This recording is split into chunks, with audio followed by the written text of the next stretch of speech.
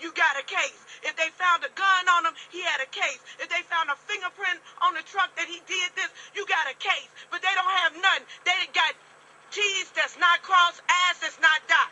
Michelle Davis Balfour says her 27 year old son, William Balfour, did not commit a triple homicide which claimed Oscar winning actress Jennifer Hudson's mother, brother, and nephew.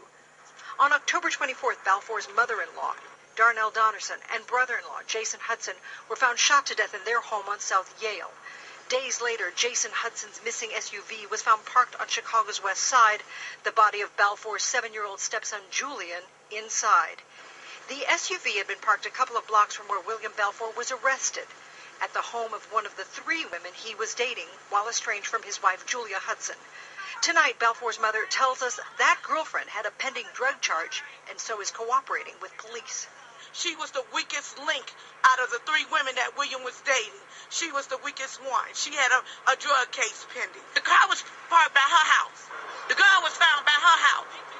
How they know she didn't have nothing to do with it? Tonight, outside Area 1 Police headquarters, William Balfour's attorney tells us he spoke briefly with his client. He vehemently denies that he is guilty in this case. And Attorney Kutnick questions the city of Chicago's case. Any evidence pointing to Mr. Balfour is not even thin. It is very, very weak. I think the police are largely relying on that statement, and that's exactly the statement that we contend is highly unreliable. William Balfour's mother says his three girlfriends were angry at him staying married and says Julia Hudson has never alleged anything against him. No domestic charge was filed. Julia never said her husband did this.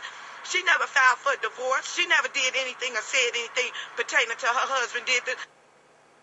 Chicago police tell us they are processing William Balfour here at Area 1 Police Headquarters. Neither they nor the Cook County State's Attorney have announced any charges yet. We should tell you that William Balfour's attorney says they expect to be in court tomorrow or Wednesday. Report